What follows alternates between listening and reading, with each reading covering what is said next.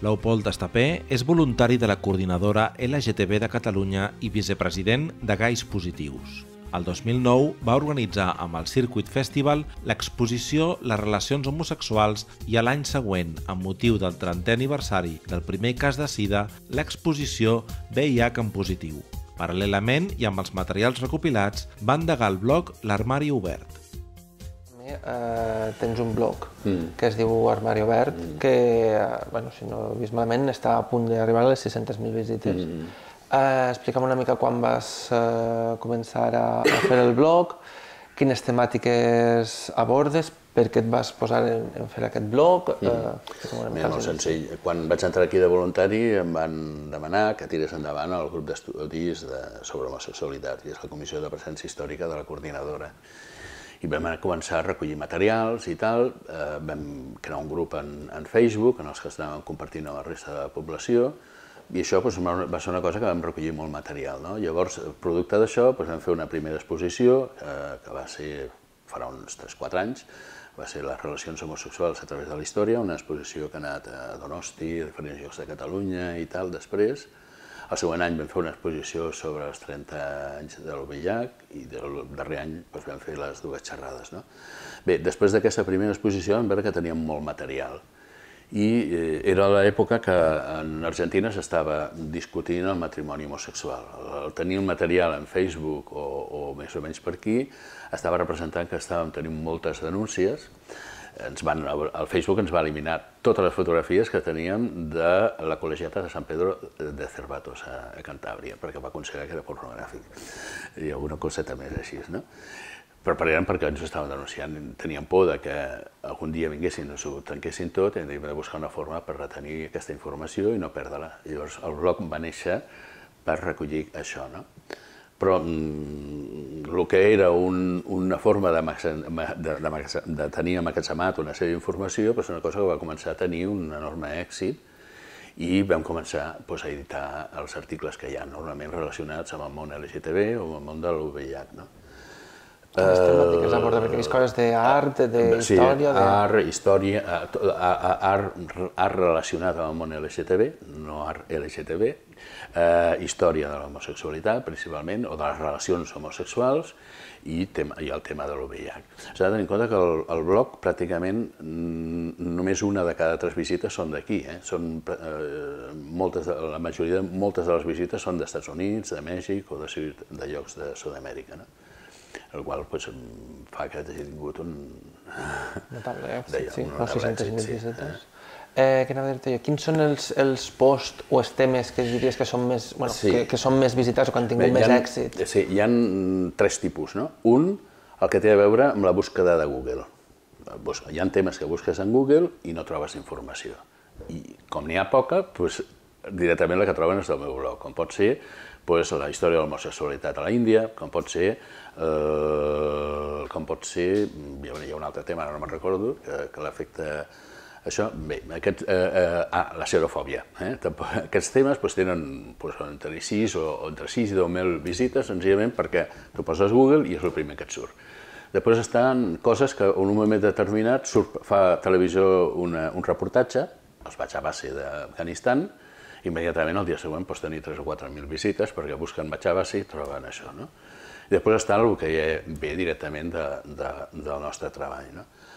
Eh, per exemple, pues, la vida, les, les biografies, la de Salmineo o d'Al Parker, el primer actor porno que va utilitzar preservatiu, pues, tenen bastantes visites. Tot el que té a veure amb la, amb la persecució de l'homosexualitat, eh, en Alemanya i, i en l'Holocaust i en la postguerra, i també bastant el, tot el relacionat amb els matrimonis homosexuals abans del segle XIX, abans del segle XX. Eh?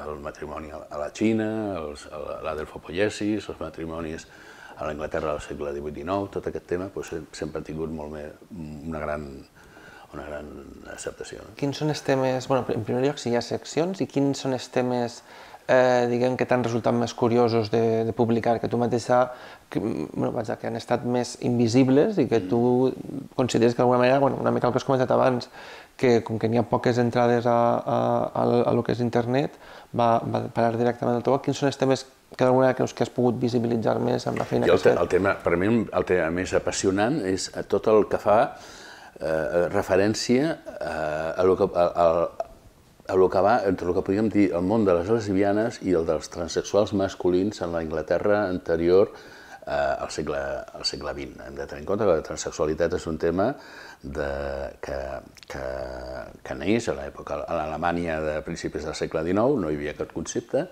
llavors hi ha tot, una, un, tot un seguit d'històries en Anglaterra de, de, de dones que es vesteixen d'homes, surten a seduir altres dones, es casen amb elles, intenten tindre una vida d'home, però que no... Bé, el límit entre la possibilitat de... Com jo no, no, existia, aquest, no, no existia el concepte aquest, no? És, és tan fi, que és un tema apassionant, no? A Espanya precisament tenim l'únic tema on hi ha una persona que explica la seva història i que pots dir, bueno, això és un cas de transsexualitat masculina, perquè parla en masculí en tot moment, que és el, el cas de la Mònica Alférez, no? però això no es dona als altres llocs. Eren, ells utilitz, elles utilitzaven el nom d'home o es vestien d'home per poder seduir altres dones, però no queda això eh, assenyalat. No? Des de l'època inclús de les gladiadores fins a això hi ha tot un seguit que és un món apassionant i que està molt poc treballant. No? I una pregunta, abans has comentat que no estava exactament definit com ara. Clar, el concepte d'homosexual, sí. lesbiana, transexual no ha, estat, no ha estat igual sí. al llarg de tota la història. Això suposa que bueno, també és apassionant d'investigar i alhora mm -hmm. també ho fa una mica difícil investigar amb, amb ulls d'avui mm -hmm. categories que fa 2.000 anys no es tenien en compte. No ho tenien en compte, clar. O sigui, tu pots veure mm, molts personatges, doncs, relacions bisexuals. Això no vol dir que fossin bisexuals, que fossin homosexuals o tal. Tu veus que normalment doncs, el matrimoni era un pacte econòmic, eh? i les relacions sexuals moltes vegades estaven fora d'aquest pacte. I llavors, entre aquestes relacions eh, sexuals, doncs, hi havia relacions homosexuals, hi havia relacions bisexuals, hi havia relacions heterosexuals. I això ho trobes, o sigui, per exemple, doncs, Alexandre el Magne doncs, va tenir les seves dones, amb les que va tenir doncs, els seus fills, especialment amb Roxana, però també va tenir els seus amants masculins. No? Definir Alexandre el Magne com homosexual des d'avui doncs, és bastant difícil, no podem saber-ho. Però sí que hi ha altres personatges, com podria ser doncs, el, que va el, el general que va crear el batalló Sagrat de Tebes, el general Paminondes, que va, que va negar-se a tenir relacions amb dones, causant un gran escàndol en la seva època. O el mateix, eh, l'últim califa, de, el, fill, el fill de Ramon III, que també no, es va negar, va tenir molts amants masculins i per poder tenir descendència van agafar una esclava que tenia aspecte andrògin i bueno, la, la va deixar embarassada per tenir descendència, però després no va voler saber res més d'ella. No? Quin ha estat? Però, és, però casos així n'hi ha molt pocs. El, bueno, amb l'evolució de la història, quina ha estat l'evolució de, diguem, de, del, la, vis, la, la visió que tenien de l'homosexualitat o les pràctiques homosexuals i transsexuals al llarg de la història. Sempre s'ha viscut, o sempre hi ha hagut una postura diguem, de discriminació o això ha anat evolucionant al llarg del temps? Hi ha hagut moments de més llibertat de les pràctiques homosexuals? Ja a veure, de... les dues grans èpoques de persecució de la homosexualitat són el segle XIX i el que és la reforma i contrarreforma de la, de, dels segles XV-XVI. Són les èpoques de gran persecució. A resta podríem dir que hi havia toleràncies, respectes, o normalitat. Eh? Mira, del, quan, els, quan els monjos, quan els jesuïtes arriben al Japó, se'n van a un monestir de, de monjos budistes i es troben que tenen sexes entre ells. I els diuen, però com pot ser això? No dieu que feu castedat? Diu, sí, clar, nosaltres no tenim sexe amb dones. Era el concepte que hi havia. Això, és, en, en, durant molt de temps, doncs és, és el, que, el, que, el que hi havia. L'edat mitjana, per exemple, doncs és una edat en què fins pràcticament al final de l'edat mitjana, en molts llocs se celebraven matrimonis entre persones del mateix sexe en, en el món cristià. En el món japonès... Sota el ritu religiós? La sí, fopoiesis eh, eh, comença doncs, ja en la tradició cristiana, amb Sant Cosme i Sant, Sant, Sant Sergi i Sant Cosme, i eh, va seguint, doncs, comença en, en la zona d'Orient, però després va, es va produint. Hi ha un cas documentat del segle XII a Galícia, però també hi ha casos a Irlanda, a tota la costa atlàntica. El mateix rei eh, Eduard II, Plantagenet, té, té, té un pacte de germanament, una delfopoiesis, amb Piers Gaveston. Eh, hi ha un altre rei, l'emperador Basili I, que, que va tenir dos, va, fer, va tenir dos. Normalment, Això no vol dir... Tenien aquest pacte de germanament en el que es juraven amor etern i tal i qual, i paral·lelament tenien la seva dona amb la que tenien fills i tal, però amb la que només s'ajuntaven per procrear. No? Això es produeix i n'hi ha molts casos i estan documentats i a més eh, n'hi ha alguns d'aquests casos que, que està, doncs, per exemple, el, el, el text de, de la boda de, de, de Basili I està a la biblioteca de, de Madrid i altres són extractes de Sant, Sant Tret de Santa Catalina de, de, de Sinaí i d'alguna bueno, manera suposa que el fet de que tot això no siga especialment visible es deu a la repressió que hi ha hagut en anys. Clar. Perquè aquest material es va poder treure perquè a l'inici del Vaticà II van deixar que entrar a investigar. Quan van començar a veure que estava sortint tot això, el mateix Pau VI ho va prohibir, no? I això va ser el que es va descobrir que existís la, la delfopoiesis, no? Però en bodes també hi han, han, han anat existint. A la mateixa Xina, eh, fins al segle XX, a la ciutat de Canton, hi havia la Societat de l'Orquídia, en la que celebrava bodes entre dones i que, lògicament, eren unes grans festes a la societat, com poden ser les bodes actuals, quan es casaven. I les persones que intentaven enganyar, que es van passar per lesbianes i no ho eren, la justícia queia sobre elles, perquè havien enganyat a la població.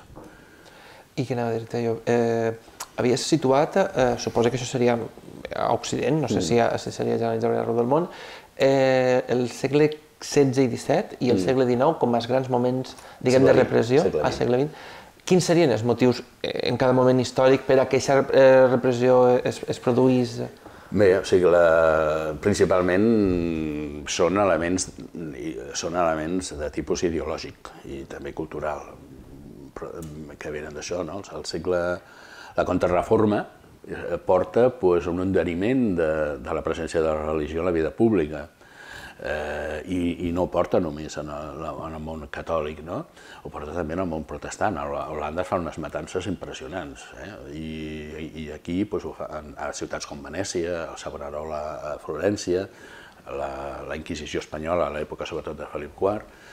Bé, els motius, bé, de bona forma, eh, és la, una, retom, una, una, una ocupació de la religió per part del poder i d'una imposició d'aquests criteris. A Espanya encara no, existe, no està unificada la corona, o sigui, és Fernando i Isabel, però que són rei de Castella i d'Aragó, i, i la primera figura la primera figura que està, sobretot al territori espanyol, el primer, el primer, eh, el primer organisme que, eh, que afecta tot, eh, la, tant a la corona d'Aragó com tal, és el de la Inquisició. I és la Inquisició la que utilitzarà primer l'homosexualitat per acusar els heretges, però després perseguirà l'homosexualitat. Eh? Normalment sempre comencen així. Eh?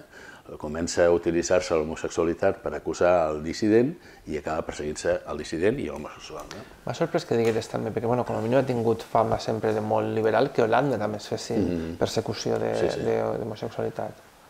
Sí, sí. Després que anava, anava a comentar-te, eh, en el segle XX, quins serien, dir, quins serien els motius o l'origen ideològic d'aquesta persecució? Bé, l'odi cap a la diferència eh, bé, eh, i l'intent de homogeneitzar homogeneitzar l'Estat i, i, i tot, no? I tenen dos punts, dos elements essencials, que és l'Alemanya la, nazi i, i, i l'Estat comunista de Stalin. Alemanya havia aconseguit els nivells de... La lluita que havien tingut, les, les diferents associacions en contra del famós pàrraf 175 havien aconseguit un nivell de llibertat impressionant. Havien, les primeres pel·lícules LGTB s'han fet allà, les primeres pel·lícules lesbianes, homosexuals, les primeres revistes, les associacions tenien un poder enorme i de sobte el nazisme això ho estronca tot, però estronca l'homosexualitat, es trenca eh, les llibertats, els partits polítics, eh, eh, ataca les minories sexuals i a les minories ètniques, ho ataca tot, vol fer un món que, no, que tots siguin iguals. No? I el mateix passa, Stalin vol fer un estat que siguin tots iguals, no? I en aquesta igualtat, doncs, l'homosexualitat es considera un vici burgès, no? Eh, paral·lelament, doncs, amb tota aquesta situació, doncs, en Estats Units hi ha un senyor, que és el Hoover, i després el McCarthy, que diuen primer que, el, que, que els homosexuals són, estan fent proselitisme a favor dels nazis, després ho estan fent a favor de Stalin. Eh, persegueixen els comunistes, però després també persegueixen els homosexuals. No? I el pitjor de tot és, és el que passa després. Eh, en Alemanya, un cop acaba la, la guerra, els jueus, els gitanos, són reconeguts com víctimes, els homosexuals no i segueixen sent perseguits. I és una lluita que s'ha de començar de zero amb, amb, des de l'absolutament desaparició de qualsevol organisme. I des de, breument, si em podies fer cinc cèntims, una mica de la història del moviment LGTB a nivell internacional i concretament mm. també d'aquí, Eh, quan comença, si no tinc mal entès, comença amb, amb Magnus Hilsfeld, el, el Comitè Científic Humanitari. Sí, sí. I a partir d'aquí, quin és, a grosso modo, l'evolució que té i també quin és el, el paper que té aquí no, a, a Catalunya i l'estat espanyol. Sí, sí. De fet, d'alguna forma, l'Alemanya havia, havia començat amb ells, l'Alemanya són els que creen el terme eh, homosexualitat ja cap a 1850-60, i, i d'ells neix, per una part, aquest moviment, però també el dels sobiranistes, els, d'Adolf Brandt, que estan enfrontats amb ells, on consideren, més o menys el, el Magnus parla d'un tercer sexe, i en canvi els altres parlen d'un sexe més definit. Eh? I hi ha un enfrontament que, que lògicament enriqueix, la lluita aquesta fa que, que, que, el, que el moviment sigui molt potent, però que és completament estroncat per part de, dels nazis. No? I ressorgeix el moviment en Estats Units, no amb, amb, no, no amb Stonewall, sinó abans, eh, hi ha tota una sèrie de grups que comencen a actuar en els anys 50 i comencen a actuar amb estructures de cèl·lules similars a l'organització eh, leninista de, dels partits polítics, sorgeixen del, del Partit Comunista eh, d'Estats de, Units, encara que el Partit Comunista pues, els analitza perquè no vol saber res d'ells, però són grups més o menys comunistes, comencen a actuar, comencen a crear les primeres revistes, de Onen, de l'Ader, que és l'Escala, que és de les noies, la, les filles de Bilitis, tots aquests grups comencen a, a aparèixer als Estats Units als anys 50, que després el moviment que surt de Stonewall se'ls menja completament i crea un altre, un altre grup ja molt més obert, molt més inclusiu, eh, i que lògicament doncs, aquests grups ja que segueixen pensant en assalt al poder doncs, queden relegats. No? Eh, aquí a Espanya eh, neix doncs, la, en l'entrevista que vau fer amb l'Armand i us ho explica molt bé, neix eh, eh, ja en l'època de Franco, un grup de persones aquí a Barcelona s'organitzen, doncs, fan la seva revista, que la fan venir des de França, eh, aquest grup doncs, a, a, a principis ja de, de, del 75, doncs, en el, els Caputxins de Gràcia creen el FAC, i a partir del FAC, doncs, d'alguna forma, eh, comença la lluita per, per eh, acabar contra la, la, la, la condena de l'homosexualitat i per, acabar contra, eh, per aconseguir la legalització del moviment LGTB, no? que és el que porta doncs, ja a que el, el 1982 doncs, això es pugui fer. No?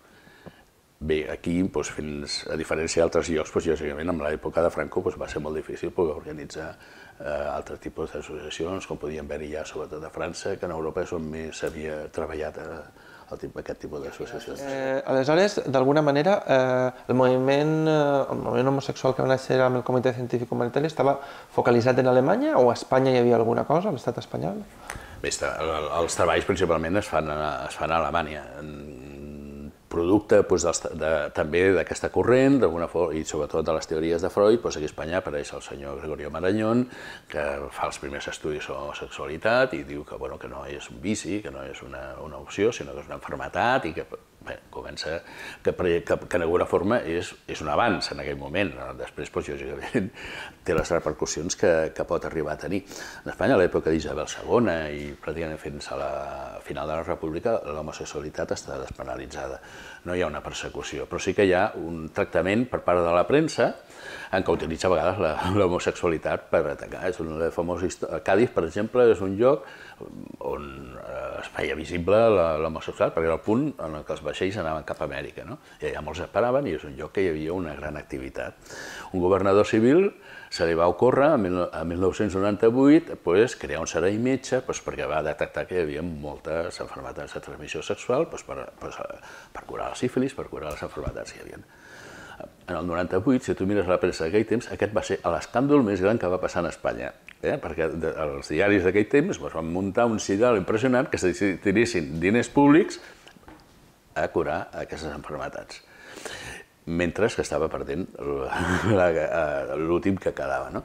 Per això veiem una mica, però el que s'estava estigmatitzant, el que s'estava atacant és que es destinessin diners públics a curar homosexuals però no a que es prohibís l'homosexualitat. Com comença la, diguem, la penalització, la persecució sí. diguem, legal de la... la sí, aquí? anem passant a la segona d'allò. Aquí el gran moment de, de l'època del franquisme no és tant la llei de vagos amaliantes com la llei de peligrositat social que ve després. Aquest va ser el gran moment de la gran persecució.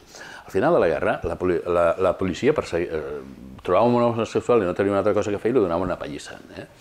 Però el mateix règim eh, tenia els seus, els eh, mariques oficials del reino, no? persones que, perquè s'havien escrit al, al règim, doncs els, els, eh, ho tenien permès, eh? des de ballarins, eh, dramaturgs com Jacinto Benavente, doncs estaven considerats i, i acceptats, encara que, lògicament, doncs, la mentalitat falangista doncs, no veia bé el que hi haguessin persones i, i amb la llei de pagos emanentes doncs, se'ls perseguia. Però la, la prioritat de la policia era eh, perseguir els dissidents. I per perseguir els dissidents, si a més a més els podia fer una acusació d'homosexualitat, doncs millor que millor. Amb la, eh, amb la mesura que la falange és substituïda per l'opus i entra la religió, és quan aquesta persecució augmenta. És quan es creen els, eh, els, penitenciaris, els centres penitenciaris per actius i per passius, perquè els separaven. Bé, era una, i, bé, que hi havia un tema, una teràpia que se'ls feia, deien, bueno, i després sortien curats, bé. Però bé, els testimonis de persones que senzillament un noi que, que als, seus, als seus 15 o 16 anys pues, se sent que és homosexual i va i li confessa a una tia que és monja mira, em passa això i el dia següent ve la policia i se l'emporta, és algú esgarrifós. I això no són coses que passaven als anys 50 o 60, és coses que passaven als anys 70 en Espanya. Eh? I això fa pues, que molt difícilment pues, que haver-hi hagut un moviment pràcticament fins a, que el, el franquisme estava desapareixent. Un moviment que era molt diferent a Madrid, a Barcelona també. per això que Barcelona és on després aquest moviment esclata i després eh, es contamina tota Espanya. A Madrid, doncs, per exemple, hi havia cases a les que, de tertúlies homosexuals, la de Vicente Alessandri o tots aquests, però que no eren reivindicatives. Aquí no, aquí, des d'aquí es lluitava contra la legislació, es lluitava pels drets i es lluitava ja amb una visió de futur en connexió amb altres associacions, com podien ser l'Arcadi francesa o com podien ser ja els moviments que, mundials eh, que estaven existint. I finalment ja seria, eh, explica'm una mica quina ha estat l'evolució del tractament de la homosexualitat i la transsexualitat eh, dos, dos pinzellades al, al món de l'art mm. i també si hi ha hagut diferències en el tractament o de la visibilitat diguem, de la L, de la G i de la T. En l'art? Bé, sí.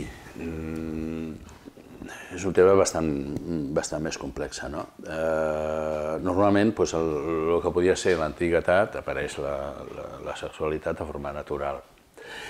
I apareix doncs, doncs, el que és el món grec, doncs, lògicament, doncs, normalment sempre es veu un adult amb un jove que l'està eh, d'alguna forma seduint en el món eh, egipci eh, apareix d'alguna forma eh, inclús aquesta visió d'un sol sexe eh, a través de figures, quan, eh, de figures en què poden tenir part de masculí i part de femení. La, la presència de, de, la, de lo que seria el món transsexual apareix eh, especialment eh, en la mitologia grega, on els seus déus, Zeus es pot transformar en dona, Zeus pot parir a Atene o, o a Dionisios des del seu propi cos, Hèrcules eh, es vesteix de dona per seduir a una, a una reina que és lesbiana, o el mateix Aquiles es disfressa de dona per, per, perquè els, els grecs no el trobin. D'alguna forma eh, apareix amb, amb normalitat tant en la, en, en la representació com, com en les seves obres.